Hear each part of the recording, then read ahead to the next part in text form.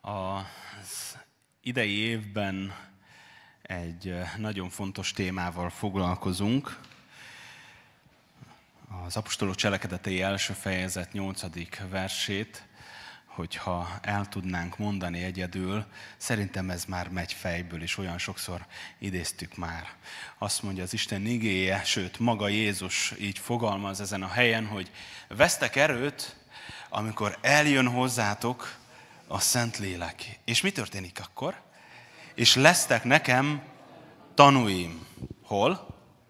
Jeruzsálemben, ott, ahol éppen voltak, Júdeában, és Samáriában, sőt, a föld végső határáig. Ámen. Előző alkalmakon, amikor szolgáltam, akkor a, arról beszéltem, hogy milyen kapcsolatban van velünk a Szentlélek Isten. És hogyan lépünk kapcsolatba vele, hogyan cselekszik ő az életünkben, milyen a kapcsolat közöttünk és a Szentlélek között, hiszen az Atya Istent valamilyen módon meg tudjuk ragadni, mert legtöbbször egy idős, fehér szakállas papa jut eszünkbe, aki egy fehér trónon ül, és valószínűleg egy veszővel nézi a földet, hogy mikor kit tud elkapni. Hát nem ilyen az Atya Isten. Azért azt, ezt tisztázzuk. Amikor úgy mutatkozik be az Isten, hogy ő az Atya, akkor a létezhető legjobb édesapára gondoljunk, és még annál is jobb. Nem véletlenül így mutatkozik be. Aztán úgy mutatkozik be a Szent Háromság második személye, bár nincsen rangsorolás, de mégis valamilyen módon ki kell mondjuk. A, fiú Isten úgy mutatkozik be, mint a fiú. Úgy mutatkozik be, mint a testet öltött ige. És mivel Jézus élettörténetét ismerjük, és nagyjából láttunk már elég sok freskót vagy képet, egyházi festményeket, amiben Jézust ábrázolták, ezért viszonylag könnyebb megragadni őt. Egy, egy 30-as éveiben járó férfit szoktunk elképzelni, hosszú hajjal, kék szemmel, bár nem tudom, hogy ez a közel-keleti embertípushoz és biológiai örökséghez hogyan tartozik, de így szokták őt ábrázolni. Minden esetre a Szentlélek Istent megragadni a fantáziánkkal nagyon nehéz. Van egy-két kép, egy galamb, van egy-két kép, egy-egy valami, de igazából nehezebb megragadni őt. És ezen a mai napon nem a Szentlélek formájáról fogok beszélni, hanem arról, hogy hogyan, hogyan jön a Szentlélek segítségünkre a kihívásoknak, a nehézségeknek, a szenvedéseknek a földjén. A mai alkalmon több ö, ponton elhangzott már ez. Az imaórai buzdításban, ö, Lacinak is a, a gondolataiban, illetve a Máté gondolataiban is, hogy benne vagyunk egy küzdelemben. Annyira jó lett volna, hogy ez a gyönyörű időjárás mondjuk pénteken van, a, a március 15-i ünnepen, amikor kirándulni lehetett, és amikor egy ilyen gyönyörű napsütéses idő van, a hangulatunk jó, a napsugarak és az időjárás és a légnyomás, és én még nem tudom mennyi tényező befolyásolja a hangulatunkat, az az érzésünk, hogy na, itt most kéne egy jó kis bátorítás, az élet szép, az Úr jó, minden mást megoldunk, típusú prédikáció, de ezen a mai napon valami mást hoztam. Azt hoztam, hogy milyen módon kapcsolódik be a Szentélek a küzdelmeinkben, a nehézségeknek az idején. Mert van úgy, hogy nevetés közben is fájhat a szív, azt mondja Salamon a példabeszédek könyvében. Van úgy, hogy süt a nap hétágra, mint most, kint az időjárás. Van úgy, hogy, hogy igazából mindennek rendben kellene lennie, de nincsenek rendben a dolgok. És így kérlek, hogy most lapozzátok a Bibliátokat a János evangéliumának a 16. fejezetének az utolsó igeverséhez. Ez egy összefoglalás, és utána fogunk majd ugye az egész fejezettel foglalkozni, úgy visszafele tekintve, de ez egy nagyon-nagyon frappáns összefoglalás Jézus szájából, ami, ami erről beszél nekünk. Időközönként rászakad az emberre az a, az a rengeteg szomorúság, az a rengeteg szenvedés, ami a Földön van. És most nem csak arról beszélek, amikor betegségek miatt szenvedünk. Nem csak arról van szó, amikor olyan dolgok érnek bennünket, amikről nem tehetünk. Hanem amikor az ember szembesül a gonoszsággal, ami ebben a világban van. Amikor az ember szembesül arra, hogy ember embertársával szemben milyen mélyre tud lesüllyedni hogy amikor szembesülünk azzal, hogy akár a családon belüli kapcsolatok milyen mélyre tudnak lesüllyedni, akkor az emberben fölmerül a kérdés, hogy mit keresünk még ezen a világon. De az Úr Jézus nagyon frappánsan fogalmaz, fogja, foglalja össze ebben az egy igeversben azt, amit a Szentlélek tesz és tenni akar a mi életünkben a szenvedések földjén. Nézzük csak. János Evangélium a 16. fejezet 33. verse. Kérlek benneteket, álljunk föl ennek az ige felolvasásnak az erejéig.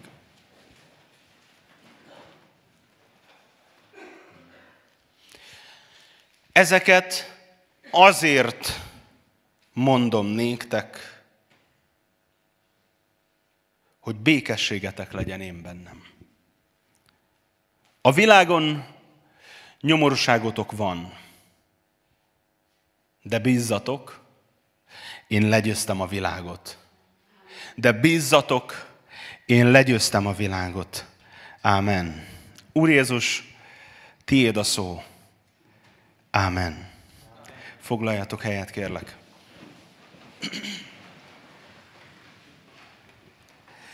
Szeretnék tisztázni egy dolgot. Nincs rossz hangulatom. Jó? A múlt héten sem történt velem olyan, ami rossz hangulatba kergetett volna, és ami miatt a mai prédikáció így sikerült, testvérek. Egész egyszerűen a Szentlélek munkájáról akartam beszélni, és ahogy tiprottam ezekkel az igékkel, mert ez volt, őszintén megvalva, erre jutottam, hogy ez az üzenete ma az Istennek számunkra. Azt mondja az Úr Jézus, hogy ezeket azért mondom nektek, hogy békességetek legyen. Ha megnézitek az előző fejezeteket, hogy hol tartunk Jézus történetének a leírásában, amikor János apostol leírja az ő szemszögéből Jézus élettörténetét, akkor nagyon fontos látni azt, hogy Jézus akkor kezd el aktívan tanítani a Szent Szellemről, amikor célegyenesbe érkezik a földi szolgálata. Utal a Szent Lélekre, Látjuk a Szent Szellemet megjelenni itt-ott, amott a folyamatban, de aktívan akkor kezd el tanítani a Szent Szellemről az Úr Jézus, amikor célegyenesbe érkezik. Amikor elkezd készülni ő maga a szenvedéseire, illetve amikor elkezdi felkészíteni a tanítványait arra az útra, ami, előttünk, ami előttük áll. A saját szenvedései előtt Jézus beszél a Szent Szellemről. A 14. fejezetben erről beszéltünk előző alkalommal, ezt nem szeretném részletesen felvázolni, pusztán nagyon, csak néhány pontban. Az egyik az, amit Jézus tanít a 14. fejezetben a Szentlélekről, hogy ismerjük őt. Hogy ismerjük őt. Amikor azt mondja, hogy a másik pártfogó, ha emlékeztek, akkor azt mondja, hogy amikor egy másik pártfogot küldök nektek, az ottani szóhasználatot úgy kellene fordítanunk, hogy egy másik ugyanabból a fajtából. Tehát egy, nem egy alacsonyabb rangú, nem egy totálisan idegen pártfogóról van szó, aki azt se tudja, hogy hol, hol hagyta abba az Úr Jézus, hanem amikor a másik pártfogóról van szó, akkor egy másik ugyan, de ugyanabból a fajtából. És Jézus azt mondja a Szentlélekről, hogy ismeritek őt. Mert aki megismerte az Úr Jézust, az megismerte a Szent Szellemet. Ami az Úr Jézusra igaz, és az Úr Jézus sokszor hangsúlyozta, hogyha aki engem megismert, az megismerte az atyát, ugyanez igaz a Szentlélekre is. Hogy aki megismerte az Úr Jézust, az megismerte a Szent Lelket. Aztán a másik, amit előző alkalommal beszéltük, hogy a Szentlélek, aki eljön, neki nagyon jók a referenciái, nagyon jók az, az, az ajánlói, ki ajánlja őt, ki küldi őt. És láthattuk, hogy az Atya Isten küldi őt, az az Atya Isten, aki elküldte az ő egyszülött fiát. Miért küldte el az ő egyszülött fiát? Hogy? Hogy megváltson minket. Ráadásul nagyon magas áron megváltson bennünket. Amen? És azt olvassuk, hogy a Szent Szellemet az Úr Jézus is elküldi. Kéri az atyát, hogy küldje el a Szent Szellemet. Az az Úr Jézus, aki szerette az övéit, mindvégig szerette őket. Azt mondta az Úr Jézus a Szentlélekről, hogy ő megtanít mindenre, és eszünkbe juttat mindent, amit ő mondott nekünk. Hát innen indulunk. Erről beszélt Jézus, amikor a saját szenvedéseire készült. Amikor elkezdett beszélni a tanítványainak arról, hogy neki szenvednie kell. És még mielőtt a tanítványok elkezdtek volna pánikba esni, azt mondja az Úr Jézus, hogy nem hagylak benneteket egyedül. Olyan valaki jön a helyemre, akit ismertek. Olyan valaki jön a helyemre, akinek jók a referenciái. Olyan valaki jön a helyemre, aki azt fogja eszetekbe juttatni, és arra fog tanítani, amire én tanítottalak benneteket. Ha velem már megvan a bizalom, vele is meg lesz. Amen. Na innen indulunk. Viszont az Úr Jézus nem csak, a tanít, nem csak önmagát készíti föl, és a tanítványokat nem csak arra készíti föl, hogy ők fognak szenvedni. Mármint, hogy igen, lelőttem a poént. Szóval az Úr Jézus nem csak arra készíti fel a tanítványokat, hogy ő szenvedni fog, amire Péter is azt mondta, hogy a jó Isten őrizzen meg téged, hanem az Úr Jézus felkészíti a tanítványokat arra is, hogy ők is szenvedni fognak. Na, ez az a pont, ahol el szoktuk rugni a pöttyöst, és azt mondjuk, hogy ezért nem igazán volt ide, érdemes ide eljönni. Eljönni a gyülekezetbe és hallani arról, hogy a szenvedés természetes és normális része az életünknek, köszönjük szépen, nem volt érdemes leutazni a 15 kilométert, vagy a nem tudom, akármennyit. Nem volt érdemes korán kelni. Az Úr Jézus a 33. versben azt mondja, hogy ezen a világon nyomorúságotok lészen. Nyomorás, nyomorúságotok van, de bizzatok, én legyőztem a világot. És az az első dolog, amit szeretném, ha megértenénk ezen a délelőttön. Tudjátok, hogy mi a különbség a figyelmeztetés és a fenyegetés között?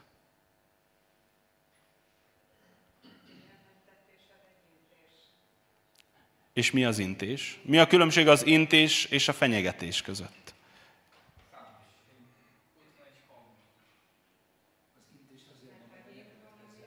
Az intést azért mondom, hogy ne következzen be, de hát Jézus pont arra figyelmeztet, hogy be fog következni a szenvedés.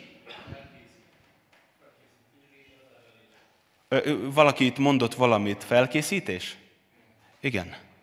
Ugye a fenyegetés az az én szándékomról azt mondja, hogy én fogom beváltani a rossz előrejelzést. Ugye amikor az időjárás előrejelzést hallgatjuk a tévébe, akkor remélhetőleg nem fenyegetésként éljük meg, és nem hajítjuk bele a baltát a tévéképernyőbe, egyébként se oldanánk meg semmit vele. De nem vesszük fenyegetésnek, amikor figyelmeztetnek, hogy mondjuk rossz időjárás következik.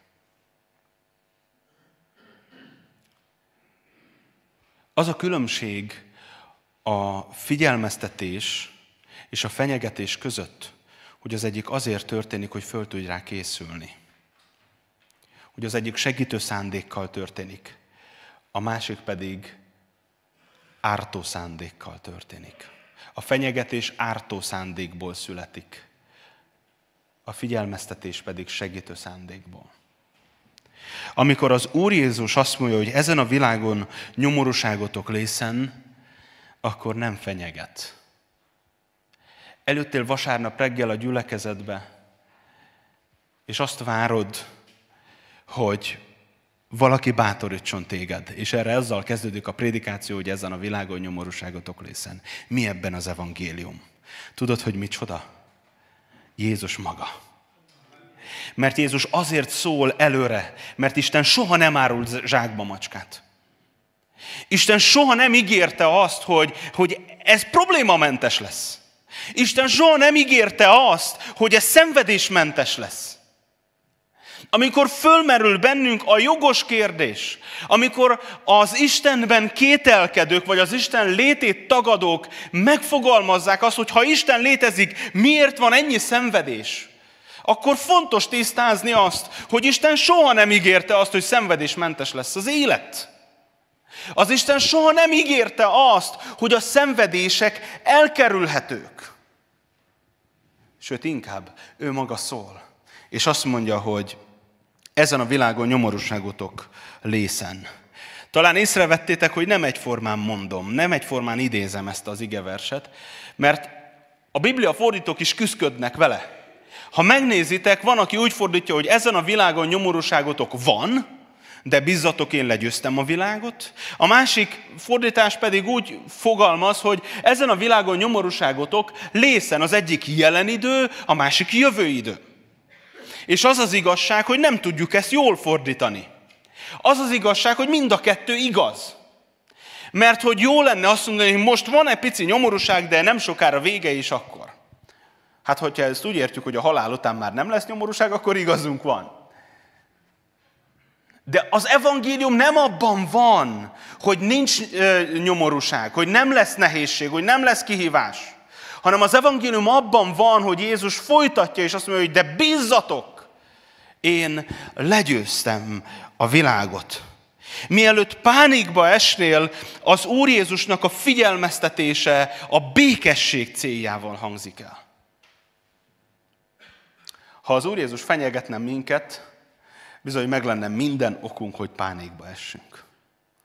Ha az Úr Jézus, az Isten igéje egyébként tartalmaz ilyen fenyegető üzeneteket, az Ószövetség tele van ilyen megtérésre hívásokkal, ahol az Isten igé azt mondja, hogy ha nem térsz meg, akkor rád engedem, rád zúdítom az egész nyomorúságot, amit okoztál. Az egész nyomorúságot, amit az elfordulásoddal okoztál. De az Úr Jézus figyelmeztet és nem fenyeget. Olyan jó lenne, hogyha ez eszünkbe jutna akkor, amikor a legjobban égett. Mert ez a kulcsa annak, hogy ne hagyd el az Urat, amikor, amikor beüt a krach. Sok hívő van, és nem véletlenül mondja Jézus azt, hogy sokan vannak az elhívottak, de kevesen a választottak. Mert az életünk során sokféle nehézségbe ütközünk, amikor próbára van téve a hitünk. Nézd rám! Kérlek, nézd rám! Az Úr Jézus nem fenyeget téged, hanem felkészít. Azt mondta a tanítványoknak, hogy nincsenek egyedül. Nem csak azzal nincsenek egyedül, hogy neki szenvednie kell és el kell mennie, hanem azzal sincsenek egyedül, amikor ők jutnak sorra a szenvedésben. Nézzük csak egy kicsit a 16. fejezetet. Azt mondja az Úr Jézus, hogy a, a fejezet végén, hogy bízzatok én, legyőztem a világot. Ez a békességünknek a kulcsa, hogy Jézus legyőzte a világot. És amikor a világról beszél az Úr Jézus, nem arról van szó, hogy az Úr legyőzte a földkerekséget. Itt a fennálló, a regnáló világrendről van szó. És még csak nem is a politikai hatalomról van szó, hogy én legyőztem a politikai világi rendet, hanem amikor Jézus beszél, azt mondja, hogy bízzatok, én legyőztem a regnáló világrendet. Azt a világrendet, amiben neked és nekem nem kellene túlélnünk. De az Úr Jézus azt mondja, hogy bízzál, én legyőztem. Azt a világrendet, ahol a halál az Úr azt a világrendet, ahol nincs menekvés, nincs kilépés, nem tudsz kilépni a halál bekövetkezte előtt. Az Úr Jézus azt mondja, hogy én legyőztem a halált. Amen. Az a világ, ahol azt mondják, hogy ez egy gyógyíthatatlan betegség, az Úr Jézus azt mondja, hogy ezen a világon lesz nyomorúságotok, és van nyomorúságotok, de bizzatok én, legyőztem a világot. Legyőztem azt a világrendet, amiben az a szükségszerű, és az a normális, hogy a magadfajta beteg ember meghal. Ezért evangélium, ezért a békesség kulcsa. Az, amit Jézus mond. Ezért a békességnek a kulcsa, amikor Jézus azt mondja, hogy ezen a világon sok nyomorúságotok lesz.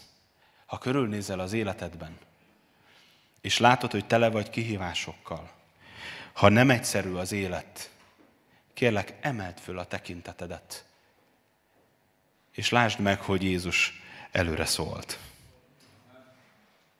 Lásd meg, hogy Jézus előre szólt. Nézzük csak egy kicsit a 16. fejezetnek az első részét. A negyedik versben, a negyedik vers előtt ilyeneket mond, hogy a zsinagógákból kizárnak titeket, sőt, előn az óra, amikor mindaz, aki megölt titeket, azt hiszi, hogy Istennek tetsző szolgálatot végez, mind, és mindezt azért teszik, mert nem ismerték meg sem az atyát, sem engem.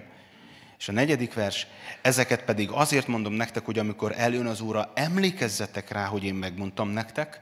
Ezeket azért nem mondtam eddig nektek, mert kezdetben még veletek voltam. Jézus figyelmeztet, és azt mondja, hogy ezeket azért mondom nektek, hogy amikor bekövetkezik, jusson eszetekbe, hogy én előre szóltam. Jusson eszetekbe, hogy én előre szóltam. Azt szoktam tanácsolni sokszor a fiataloknak, hogy különösen az érzékeny kérdéseket, a vitás dolgokat, a problémás helyzeteket ne cseten oldják meg. Ne írásban, nem e-mailben, ne chatben oldjuk meg a konfliktusos problémákat. Tudjátok, hogy miért? Azért, mert az emberi kommunikációnak több mint a fele metakommunikáció, azaz a szavakon túli kommunikáció. Ebben benne van a hangsúly, benne van a testtartás, az arckifejezés, és csak egy nagyon pici rész, ha jól emlékszem, akkor 20% az, amit mondunk. Amikor te írásban akarsz lerendezni egy konfliktust, amikor írásban akarsz megoldani egy problémát, akkor annak, amit mondani akarsz, csak 20%-a megy át. Azt mondja az Úr Jézus, hogy ezen a világon nyomorúságotok lészen, de bizzatok, én legyőztem a világot, visszalapozzunk a negyedik versre, ezeket pedig azért mondom nektek, hogy amikor eljön az óra, emlékezzetek rá, én megmondtam nektek. Na most ez a mondat, hogy én megmondtam nektek, ha csak olvassuk, és nem ismerjük Jézus személyét, akkor ez egy rettenetes mondat. Ismered azokat a helyzeteket, ahol azt mondják neked, hogy ugye megmondtam, hogy ez lesz. Ismeritek ezeket a mondatokat, amik elhagyják néha a szánkat? A tiédet is, meg az enyémet is. Mert nem csak áldozatok vagyunk, hanem agresszorok is vagyunk sokszor. Ezért fontos, hogy kitérjünk arra, hogy ismerjük Jézust és ismerjük a Szent Szellemet. Mert itt Jézus nem arról beszél, hogy na ugye megmondta, majd jusson eszetekbe, amikor bajba vagytok, hogy na Jézus jó megmondta nekünk. Hanem itt Jézus előre tudásáról van szó. Amikor kitört az orosz-ukrán háború, akkor már az első hónapokban meglepő fejlemények léptek közbe. Egyszerűen csak azért, mert egy sokkal gyengébb hadsereg elkezdett információkat kapni sokkal erősebb országoktól. Nem tudom, ki az, aki sportkedvelő? Beszéltünk eddig a háborúról, sportkedvelők. Meg szoktátok nézni a meccsek előtti, vagy hallgatni a meccsek előtti interjúkat, vagy a futamok előtti interjúkat? Miről szólnak azok az interjúk? Esélylatolgatás, és milyen alapon latolgatják az esélyeket a, a, a sportmérkőzések előtt? Az eddigi teljesítmény alapján sokszor az edzők azt mondják, hogy felkészültünk a magyarokból, Megnéztük az utolsó meccseket, próbálnak rájönni a nyilvános kommunikációkból, a hazai interjúkból, a saját szurkolóknak elmondott gondolatokból, próbálnak, eh, próbálnak rákövetkeztetni, hogy milyen taktikára készül az ellenfél csapata, hogy arra föl tudjanak készülni. Amikor Jézus arról beszél, hogy amikor bajba lesztek, jusson eszetekbe, hogy én előre szóltam, nem arról van szó, hogy na ugye én előre megmondtam, te szerencsétlen, hanem arról van szó, hogy előre tudtam, és amikor előre tudom, hogy mi fog történni, akkor nem csak információm van a jövőről, hanem föl is tudlak készíteni rá. Amikor Jézus azt mondja, hogy bízzatok, én legyőztem a világot, akkor nem csak magáról beszél, hanem rólad is beszél, aki az ő oldalán harcolsz. Azt mondja az Úr Jézus, jusson eszetekbe. Ezeket azért mondom nektek, hogy amikor eljön az óra, emlékezzetek rá, én megmondtam nektek. A fejezet pedig azzal zárul, hogy ezeket azért mondom nektek, hogy békességetek legyen. Bízzatok, én legyőztem a világot olyan megnyugtató, hogy ami előtte áll kihívás, én nem látok a falon túlra, én nem látok a holnapon túlra, de van valaki, aki lát. És van valaki, aki felkészít. Akkor is, ha nem osztja meg velem az információt. Az Ószövetségben is látunk erre példát. Amikor az Isten profétája szól, hogy hol sorakozzanak föl a fegyverek, és egyszerűen az ellenséges királyok azt mondják, hogy valami tégla van közöttünk. Valaki besúgó közöttünk. És mondják neki, hogy oh, nem. Ott van az Isten embere. Ott van az Úr profétája. Ott van Elizeus. Őt kell elkapni. Hát, Jézus nem lehet elkapni. Azt mondja Jézus, hogy bízzatok én, én legyőztem a világot. A regnáló rendet. Én nem fogok neked ígérni azt, amit Jézus maga sem ígért. Hogy könnyű lesz. Hogy kihívásmentes lesz. Hogy nem lesznek szomorú és sötét napok. De az Úr Jézus egyet mondott. Azért szólok előre, hogy fölkészülj. Azért készítelek föl előre, hogy amikor benne vagy, kibírjál tartani. Ezért szól előre. Figyelmeztetés, nem fenyegetés. Amikor Jézus beszél a tanítványainak arról, hogy neki szenvednie kell, és meghalni, elmenni, és küld egy másik pártfogot, a tanítványok nem értik, aztán elkezdenek kétségbe esni, hogy akkor most mi lesz, és Jézus elmondja nekik, hogy nyugi, elküldöm nektek a Szent Szellemet, és majd aztán én is eljövök értetek. Van itt egy lépcsőfok. Az előbb olvastam. Azt mondja Jézus, hogy ezeket azért nem mondtam eddig, mert veletek voltam. Tehát amilyen kihívással találkoztatok, az a kihívás először velem találkozott, fizikailag. Ott voltak Jézus körül. De amikor Jézus befejezi a földi pályafutását, akkor Jézus regionális szolgálata, mert regionális volt, Izraelre korlátozódott. Egyszer-kétszer kilépett a, a határvidékekre, de nem sokat. Jézus küldetése veled és velem egy nemzetközi szintre, egy világszintre lép. Ez azt jelenti, hogy az a Szentlélek, aki benned van, és aki bennem van, azt viszi tovább azokon a sok helyeken, ahol mi megfordulunk, és sok más hív ember a világon. A Szentlélek ott folytatja, ahol mi vagyunk. És az a helyzet, hogyha Jézus a saját hazájában kiverte a biztosítékot, mert egy másfajta világrendet követett, az Isten országát. Azt mondja Jézus, hogy ez fog történni veletek is. Amikor szembesülsz az emberek megvetésével, amikor az iskolában szembesülsz azzal, hogy neked más értékrended van, és az az értékrend téged hátrányba taszít, tudd meg, hogy ez a normális. Tudd meg, hogy ez a természetes. Miért? Mert ha Jézusi értékrendet képviselsz, akkor az Isten országa összeütközésbe kerül a jelenlegi világrenddel. A jelenlegi világrend mögött az ördög van.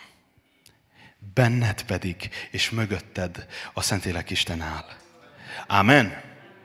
Benned és mögötted a Szentlélek Isten kell, hogy álljon, ezért ez új feladatokat és új kihívásokat jelent. És ezekre készít fel az Úr Jézus, amikor azt mondja, hogy elküldöm nektek a Szent Lelket. Te, én annyira szeretném, ha a Szent Szellem keresztség és a Szent Szellemnek a munkája csak annyiról szólna, hogy itt vagyunk vasárnap délelőtt, jókat énekelünk, úgy, mint ma délelőtt, imádkozunk, nyelveken szólunk, dicsérjük az Urat, kiráz a hideg, és, és a magaslatokban vagyunk, és, és a mennybe érezzük magunkat. De az a helyzet, hogy Jézus nem a heti másfél óráért hívott el bennünket. Az a helyzet, hogy Jézus azt mondja, hogy ezen a világon nyomorúságotok van, illetve lesz. De bízzatok, én legyőztem a világot. Jézus fizikailag ugyan nincs itt, hogy kivédje, de nem is férnénk el körülötte ennyien. Hát csak kecelen hányan vagyunk. Hát még az egész világon. De a Szent Lélek által az Isten itt van velünk. Az Isten uralma, az Isten világa veled együtt kell, hogy növekedjen. Velem együtt kell, hogy terjedjen az Isten országa, ez az új világuralom.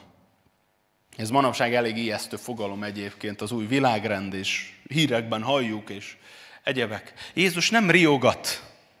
Jézus előre tud dolgokat, és szól, hogy fölkészítsen, mert újak a feladatait. Igen, mi imádkozunk egymásért, imádkozunk azokért, akik betegek, akik szenvedők. De az az igazság, hogy nem csak ilyen szenvedés van ezen a világon. És még csak nem is olyan szenvedés van, amit a hitünkért szenvedünk el. Képzeld el magad, hogy egy órán keresztül mindent látnál, ami a Földön zajlik, és föl is bírnád fogni. Mert amikor egyszerre megy három monitoron, vagy négy monitoron négy különféle dolog, akkor, és még a telefon is a kezedben van, akkor biztos, hogy kiválasztod, hogy melyikre fogsz figyelni. Egyszerre nem lehet sok felé. De képzeld el, hogy egy órára Isten odaültet maga mellé, és mindent látsz, mindent hallasz, minden, mindent átérzel. Elbírnánk ezt viselni?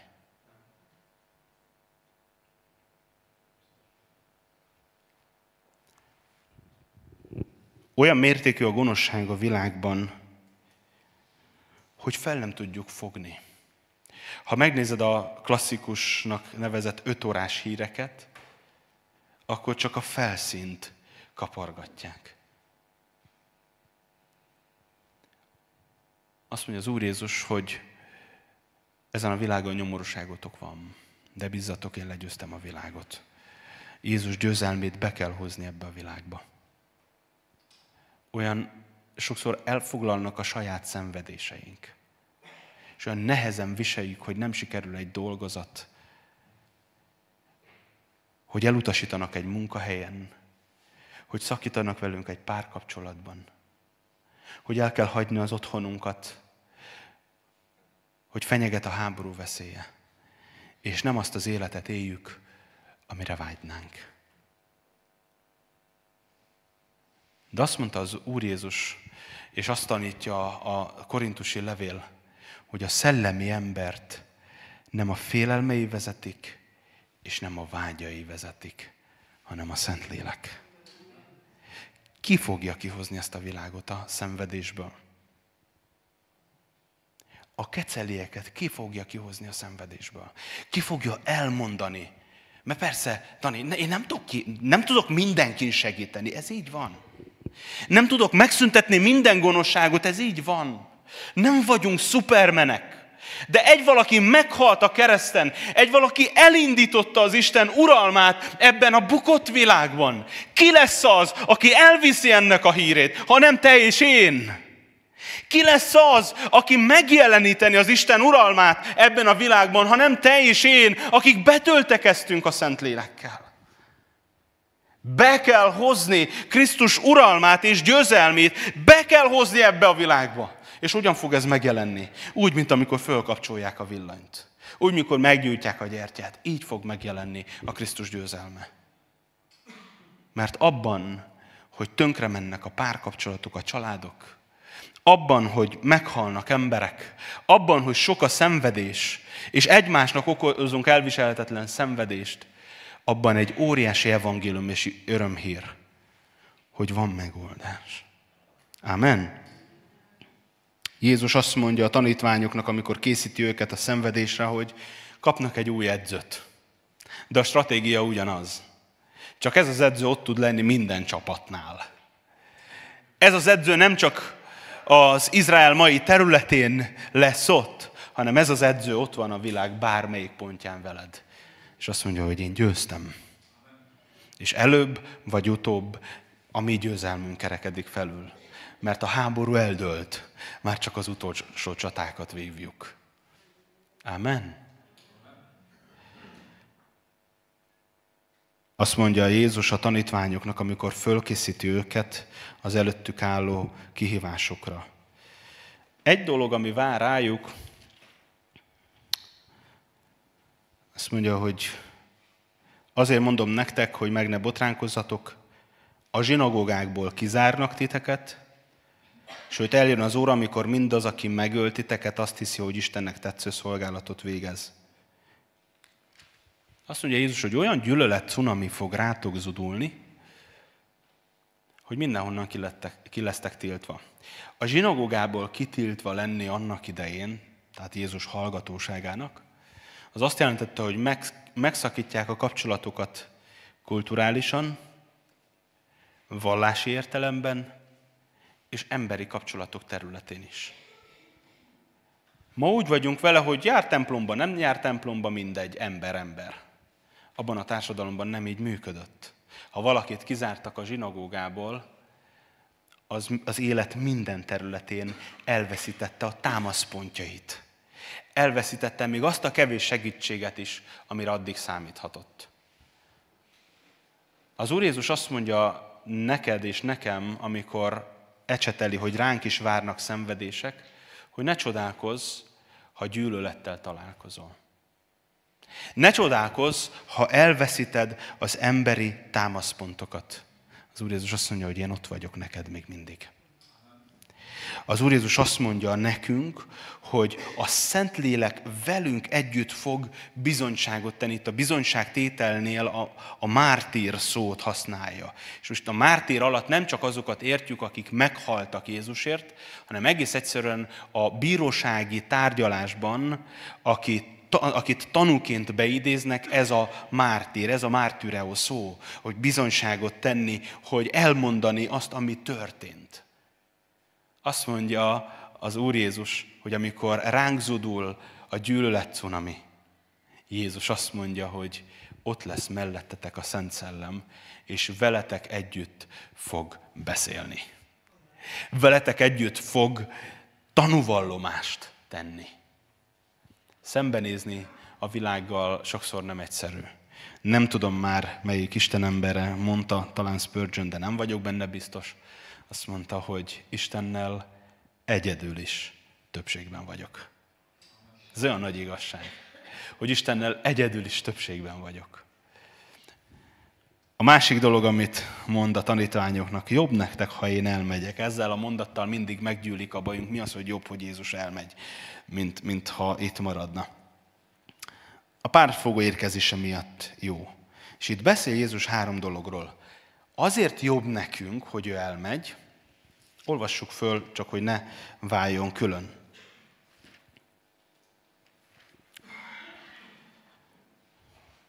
Én azonban az igazságot mondom nektek, jobb nektek, ha én elmegyek, mert ha nem megyek el, a pártfogon nem jön el hozzátok, ha pedig elmegyek, elküldöm őt hozzátok. És amikor eljön, leleplezi a világ előtt, hogy mi a bűn, mi az igazság és mi az ítélet. A bűn az, hogy nem hisznek én bennem. Az igazság az, hogy én az atyához megyek, és többé nem láttok engem. Az ítélet pedig az, hogy ez a világ fejedelme megítéltetett. Azt mondja Jézus, hogy azért jobb nekünk, ha ő elmegy és jön a Szent Szellem, mert a Szent Szellem tenni fog valamit. Ez a valami az, hogy leleplezi, nyilvánvalóvá teszi, meggyőző nyilvánosságra hozza. Ugye itt nem pusztán arról van szó, hogy lerántom a leplet, mert ott egy másik szóhasználat van, hanem itt arról van szó, hogy úgy hozza nyilvánosságra, hogy nincs kételjed, hogy nem kérdés. Ugye manapság vannak ilyen ö, ö, oknyomozó újságírók, és akkor föltárnak dolgokat, akár az államhatalommal szemben, akár egyéb hatalmakkal szemben, és úgy sorakoztatják fel a bizonyítékokat, úgy hozzá, hoznak nyilvánosságra egy ügyet, hogy meggyőződsz, akkor is, ha nem mondják neked, hogy mit kell tudni arról a dologról, lesz egy meggyőződésed. Nagyjából ez az, amit a Szent Szellem csinál. Három dolgot említ. Az egyik a bűn, a másik az igazság, a harmadik pedig az ítélet. És amikor a bűnről van szó, akkor azt gondolnánk, hogy meggyőz bennünket, hogy mi a bűn. Hogy ezt rosszul csináljuk, azt rosszul csináljuk, ezt nem szabadna, azt nem szabadna. De itt nem erről van szó. Jézus nem, nem ezt részletezi, nem erre mutat rá, hanem azt mondja, hogy meggyőzi a világot a bűn tekintetében, és mi a bűn? Az, hogy nem hisznek bennem. Az a bűn, hogy nincs bizalmuk bennem. olyan jó lenne, ha megértenénk, a folytatásban is azt mondja, hogy az igazság az, Jézus úgy fogalmaz, egy pillanat, az igazság az, hogy én az atyához megyek, és többé nem láttok engem, ezt aztán végképp nem értjük, és az ítélet az, hogy a, a világ fejedelme megítéltetett. Egyszerűen arról van szó, hogy ha nem bízunk az Istenben, amikor az igazságról van szó, itt az igaz létről, a hibátlanságról van szó. Tehát nem, nem úgy általában az elvont igazság, hogy én most már tudom mindenről, hogy mi az igaz és mi a hazugság, hanem itt az igazságról, amikor beszél, akkor a megigazult állapotról van szó. Az a belső állapot, hogy nekem nincs rejtegetni valom. Hogy nem vagyok büntethető semmilyen szempontból, hogy nem vagyok elmarasztalható. Erről, van. Erről beszél az Úr Jézus. Na most azt mondja az Úr Jézus, hogy ha elszakadtunk tőle, ha nem bízunk benne, akkor azt se fogjuk elfogadni, hogy ő az atyához ment, hogy közben járjon értünk. De nem lesz megigazolásunk, ha nem hiszünk Jézusban, ha nem bízunk benne.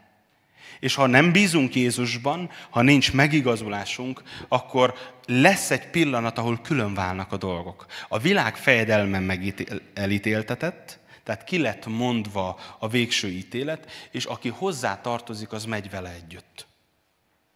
Tehát lesz egy pont, amikor nem lesz már választási lehetőséged. Ma van. Azt mondja Jézus, hogy ma van. Miért? Azért, mert ma mondhatsz nemet Jézusnak, mondhatunk nemet a Jézusnak való bizalomnak. Miért kell bízni Jézusban ahhoz, hogy üdvözüljünk? Egyszerűen azért, mert Jézus sokszor fog neked olyat mondani, amit nem szeretnél. Sokszor fog olyat kérni, amit nem szívesen hallasz.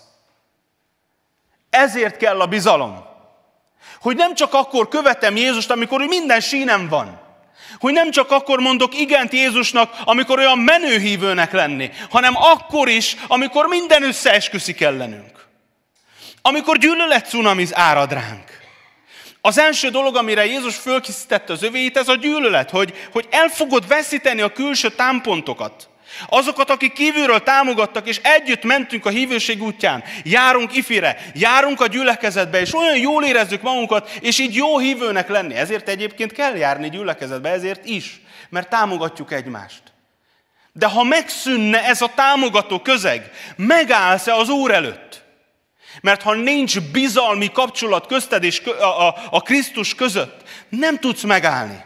És ha nincsen bizalmi kapcsolat közted és Jézus között, nem lesz bizalmad abban sem, hogy ő igazát nyilvánít téged. Hogy a bűneid meg vannak bocsátva. Hogy az atya úgy tekint rád, hogy téged befogadott. Hogy az övé vagy. És hogyha ez a bizalmi kapcsolat nincs meg, ha ez a meggyőződés, mondjuk ki, ha nincs meg az üdvbizonyosságod, előn a nap, amikor már nem is dönthetsz felőle, mert a múltban eldöntötted már. Ezért az Úr Jézus, amikor fölkészíti a tanítványait a nehéz életpontokra, nem csak arról beszél, hogy kívülről fog megszűnni a, a támogatás, hanem tisztáz azt, hogy belülről mi adja neked a tartást.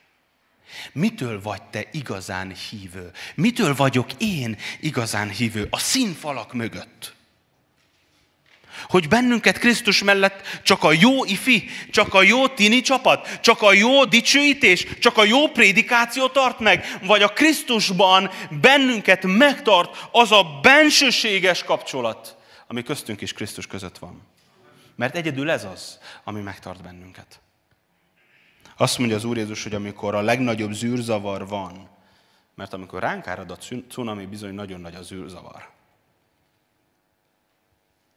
Amikor mindenki menekül, amikor megdől az a világrend, amit eddig ismertünk, az Úr Jézus azt mondja, hogy jobb nektek, hogy én elmenjek, mert jön a vigasztaló, aki lesz veletek. És amikor elveszíted a külső támaszpontokat, ott lesz belül a támaszod. Nem olyan régen, kár, hogy nem hoztam el, láttatok már dobozos kólát, ugye? Azt az alumínium dobozos kólát. Nem régen láttam egy kísérletet. Tudjátok, hogy milyen súlyt bír elviselni egy dobozos kóla? Van tippetek?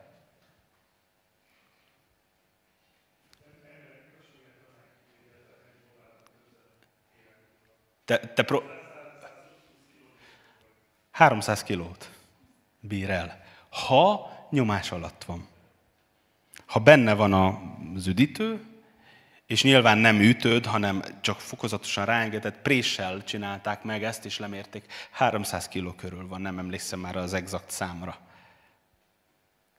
Pedig egy egy milliméteres falu, még annyi sincsen, még annyi sincsen. Egyébként, csak úgy mondom, rakétatudományt építettek erre, Elon Musknak az új rakétája így működik. Erre jött rá, hogy így lehet csökkenteni a rakétának a, a tömegét. Ha magadra nézel, lehet, hogy azt mondod, hogy hát én még egy kólásdoboznyi erősséggel se bírok. De amikor benne van, benne van a lényeg, amiért egyébként létrehozták azt a, azt a dobozt.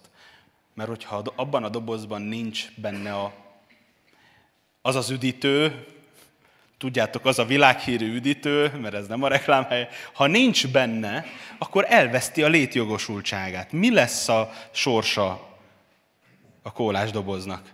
Összetapossuk és kidobjuk a kukába. És egy gyerek is összebírja roppantani. Miért? Mert a doboznak nem önmagában van az erőssége, hanem abban, amit beletöltenek. Na, erről van szó. Erről beszél Jézus. Erre készít föl téged, amikor azt mondja, hogy ezen a világon nyomorúságotok lészen, ha belül bennünk van az a bensőséges kapcsolat. Ezért mondja azt, hogy bűn az, ha céltévesztett állapotban maradunk. Ezért mondja azt, hogy bűn az, ha nincs meg ez a bensőséges kapcsolat, ez a bizalmi kapcsolat vele. Ugye nem hisznek én bennem, nincs bizalmuk én bennem. Miért? Mert tönkre megy az életünk nélküle. Nincs belső tartásunk. Olyanok vagyunk, mint egy, mint egy kólásdoboz. Pillanatok alatt összerodjunk. De hogyha ő ott van, ha bennünk van, ha tele vagyunk vele, ő adja a tartást nekünk. Amen. Ezért készít föl téged az Úr. Ezért te szerőssé. Mert ezen a világon nem elkerülhető a nehézség, a kihívás, a nyomorúság. Ezért mondja azt, hogy jobb nektek, hogy én elmenjek, mert így nem csak Jézus lesz az erős, hanem mindannyian erősek kiválunk a bennünk lakozó Szentlélek által. Amen. Azt mondja Jézus, és most én is, még sok mindent kellene mondanom nektek, de most még nem tudjátok elviselni. Úgyhogy kérlek benneteket álljatok föl. Ez nem csak a prédikációnak a végszava, hanem egyébként is igaz. Nekem annyira tetszik, hogy Jézus úgy készít föl a kihívásokra, hogy nem csak figyelmeztet, hogy megszűnhet a külső támogatás, nem csak hogy figyelmeztet, hogy belülről legyen erősségünk Jézus Krisztusban, hanem arra is figyelmeztet, hogy vannak dolgok, amire most nem vagyunk készen, és ne is akarjuk kutatni. Péternek, mikor az utolsó beszélgetésben helyreállítja Pétert, azt mondja Péternek, hogy Péter, most felállsz, felöltöző, és odamész, ahova akarsz. Fiatal vagy és erős. De eljön az idő, és ezt nem csak az öregkoráról mondta, de eljön az idő, azt mondja Péternek, amikor más vesz fel téged, és oda vissza, ahova nem akarsz menni. És hozzáteszi, nem zárójelben, hanem hozzáteszi János apostol, hogy ezt Jézus arról mondta, hogy hogyan fogja megdicsőíteni őt.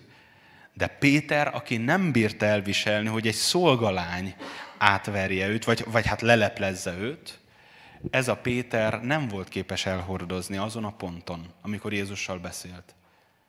Uram, hogyha én ennyire nem voltam képes, hát hogy fogom kibírni a későbbieket, amikről beszéltél? De azt mondja az Úr, semmi baj. Majd úgy óvatosan, fokozatosan fölkészítelek rá. Lehet, hogy úgy hallgattad végig ezt az ige hirdetést, hogy azt mondtad, hogy jaj, hát nem is tudom, hogy akkor mit csináljak, most hívő legyek, vagy ne legyek hívő. Figyelj, nem lesz könnyebb az élet, ha nem vagy hívő, csak úgy mondom. És pláne nem lesz jobb a vége.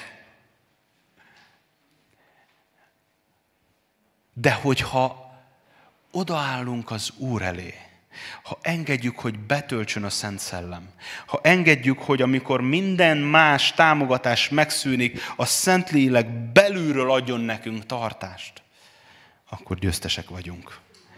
mert Jézus már győzött. És ha vannak olyan dolgok, amikre most nem is mernél gondolni, ne, nem, ne is gondolj rá, mert nem kell félni, nem kell előre paranoiásnak lenni és aggódni. Jézus maga figyelmeztetett, hogy ne aggodalmaskodjunk.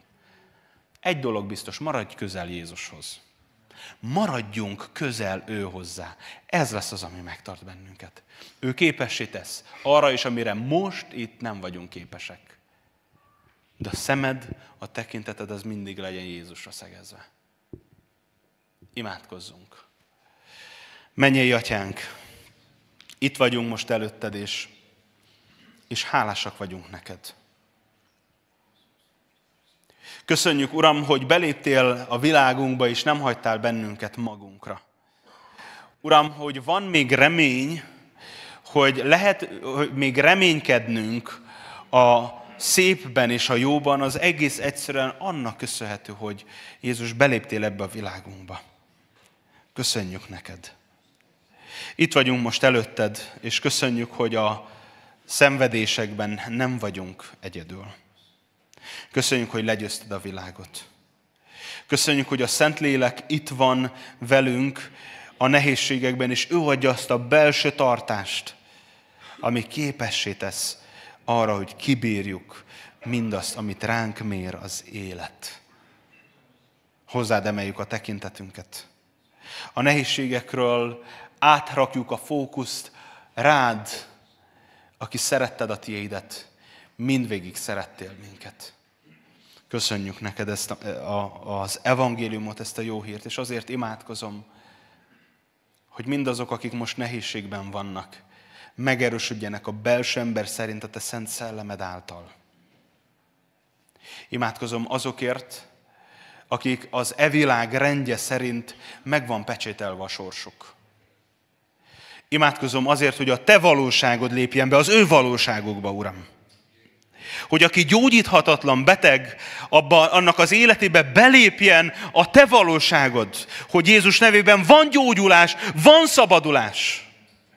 Imádkozom, Uram, azért, hogy Jézus nevében belépjen azoknak az életében a szabadulás, akiknek az evilág rendje szerint a pusztulás az örökségük. A szenvedélybetegség lenne az örökségük. A hitetlenség és a tőled való eltávolodás.